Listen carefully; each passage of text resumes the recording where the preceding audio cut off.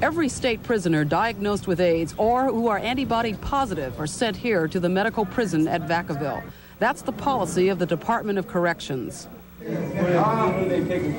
is also state policy that those inmates with AIDS be isolated in a separate wing from the rest of the prisoners. They have a separate kitchen and exercise yard from prisoners on the main line.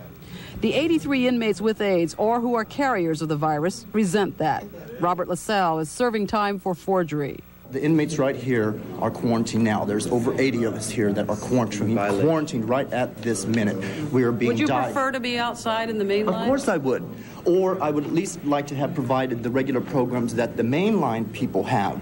Institutional programs, visitation procedures, um, vocational training.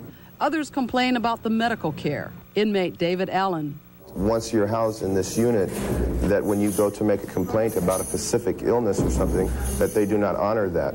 You know, they say that, that we can't afford to test everyone for these types of infections. Prison doctors deny that the inmates are neglected. They say they do and can handle any AIDS problem. Prison medical director Dr. Nick Poulos. The state will rise to the occasion. If they have to send them out, they will send them out. If they have to hire more doctors, they will hire more doctors. But inmates say authorities are ignoring the real problem. John Costello says there's all kinds of high risk behavior here that can spread AIDS. People from this unit, you know, there's other people that come from mainline and, and have sex with people that are known to be carriers of the virus Here in the prison. here in the prison itself. And nothing is done to stop that? It's a common thing, you know. Drugs, homosexuality doesn't stop just because we're in prison.